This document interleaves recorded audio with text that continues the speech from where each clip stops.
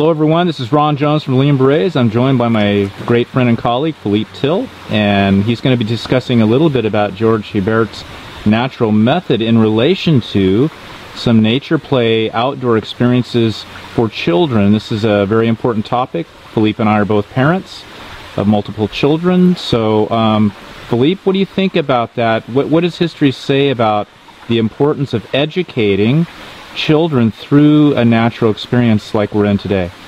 So the interesting aspect of that is, uh, again, when we're talking about natural method, and more specifically uh, his work in the strength code, Hebert defines the various stages of life and the various ages uh, that are appropriate for training. And in that category is, of course, how to train children and the approach you need to have with children versus, for instance, the approach you have for athletes or the military versus, again, the everyday person, uh, senior citizens, as well as even, you know, more specifically, how he views training for women, which is not that much different, honestly, than men, but he focuses more on grace and flexibility.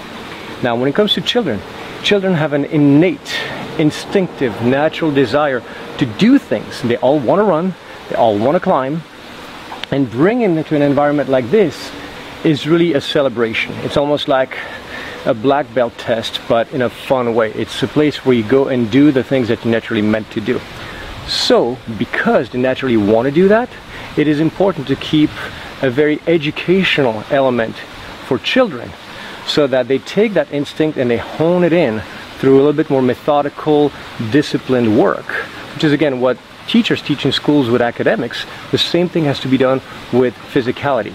And that whole physicality and that education, uh, physical culture, is more than just training the body. It's about teaching you how to become a responsible, useful citizen with high moral values, with a sense of altruism, as well as um, th this. Uh, he calls it virile, virile qualities, but it's essentially just being able to make a decision, acting out of cold blood, which means very focused, not phased by anything. And again, that's by training kids to do all these various tasks and skills and develop able bodies, abilities.